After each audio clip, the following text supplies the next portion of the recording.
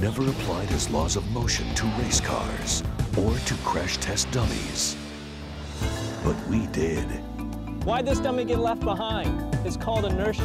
Go behind the scenes at the Insurance Institute for Highway Safety's Vehicle Research Center and explore the basic science behind crashes.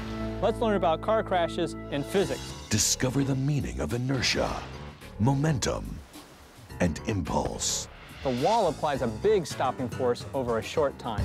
Watch energy in action You'll see why speed is such a critical factor in the outcome of a car collision. and discover what keeping people safe in car crashes is all about. When the safety cage collapses, you're going to have injuries to the occupant. Learn from Presidential Award winning teacher Griff Jones and Institute President Brian O'Neill how the laws of physics all add up to understanding car crashes. It's basic physics.